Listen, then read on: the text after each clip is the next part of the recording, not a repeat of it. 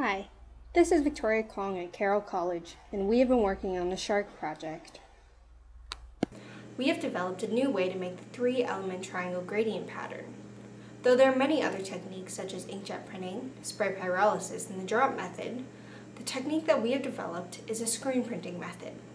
It is fast, cost-effective, and generates easily reproducible patterns consistently. In this video, I am going to show you how to make the screen and also how to make the actual film itself. We are going to replicate the results in this paper for the iron chromium aluminum triangle pattern gradient.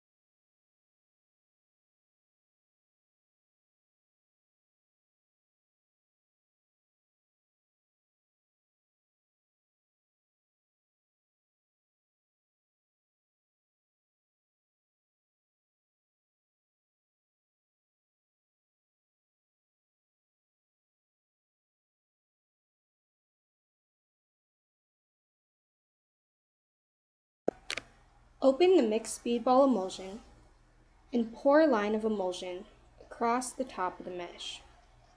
Now take the squeegee and pull the emulsion across the screen.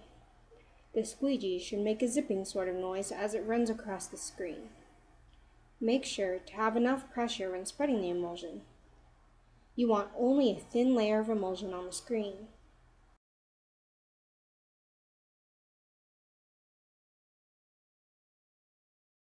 Now turn the screen over and repeat the process. Only coat the screen once on the front and once on the back.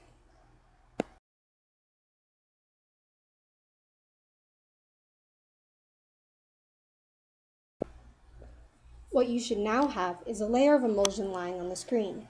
As you pulled the emulsion across the back of the screen, it should have pushed the emulsion out of the other side. As you can see from the shot, the front of the screen has a thicker layer of emulsion than the back does. Find a dark space, such as a drawer, to put the screen in while the emulsion dries. Put the screen face down using something to prop up the frame so that the emulsion does not touch any surfaces.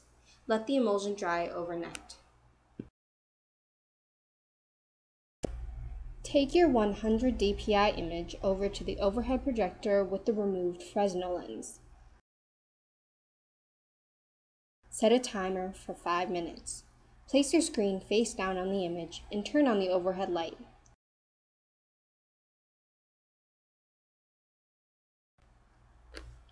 After exposing the screen for 5 minutes, you should see a faint outline of the triangle gradient pattern in the emulsion.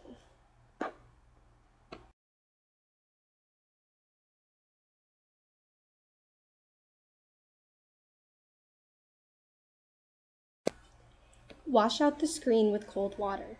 The emulsion exposed to the light should have hardened and will not wash out. The emulsion that was covered up by the ink from the transparency, however, should start to turn gummy and slowly wash out. Lightly run your finger over the emulsion. If needed, use a sponge to gently rub away the unexposed emulsion. Let the emulsion sit out on a hard surface until it is dry.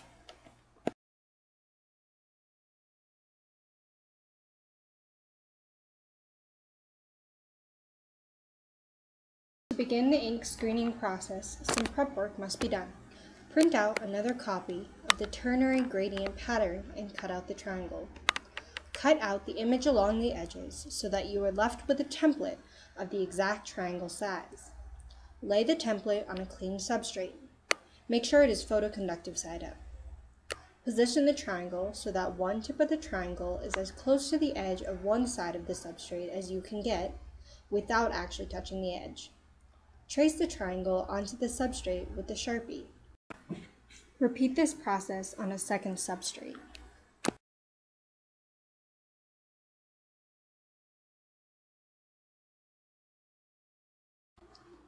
After tracing the triangle image, label each of the triangle's corners 1, 2, and 3.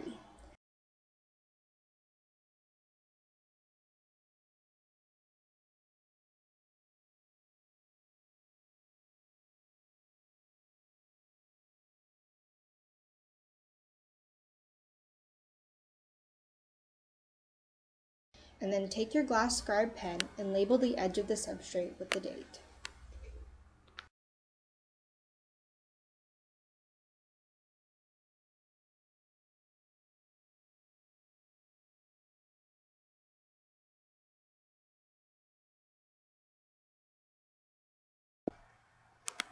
Place your glass substrate labeled 1 on the surface of a lit projector.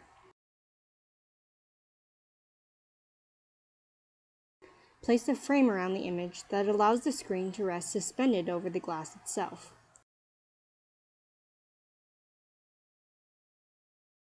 The mesh should not be touching the glass substrate when placed on the frame. This is called off contact and is a very important aspect of getting the screen to produce a high quality and accurate print without the ink bleeding. Line up the triangle in the mesh emulsion with the triangle drawn on the glass plate. Having the overhead projector turned on and thus backlighting the glass and screen should help with this process. Take the first metal solution that is mixed with the ink base, in this case the iron nitrate ink. Fill a disposable pipette up with the ink. Squirt a line of the ink along the top edge of the triangle and make sure to dispense enough ink so that the whole triangle image can fill up with the solution.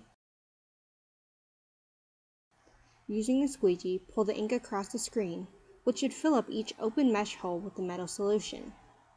Do not press down on the mesh. The ink should be viscous enough and the mesh holes small enough that no ink has been deposited onto the glass yet. Push the ink back up to the top of the triangle taking care to not press down on the mesh. The glass should still be clear of any ink.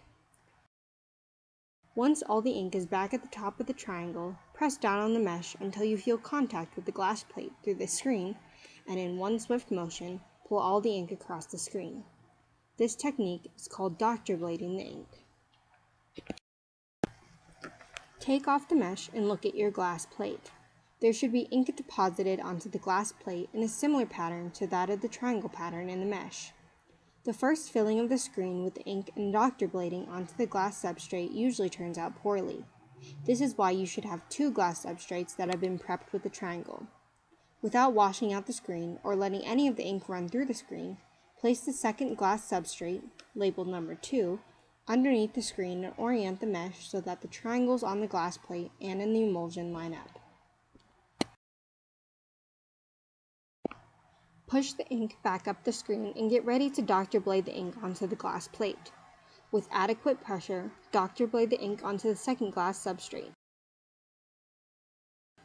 Now take your glass substrate number 2 and apply heat. Heat the ink on the plate until the ink no longer contains any water. Doctor blade on another layer of ink and heat until all the liquid has evaporated once more.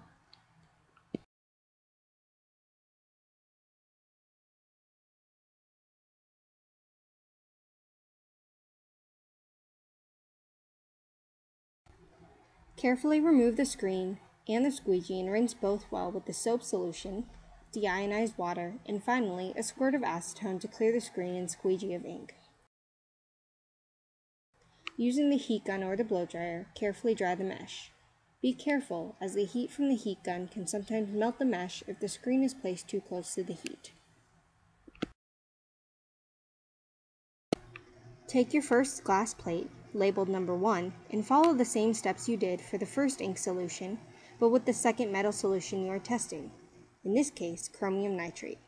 Remember to use substrate 1 as your throwaway glass plate, only to be used during the first filling and doctor blading of the screen.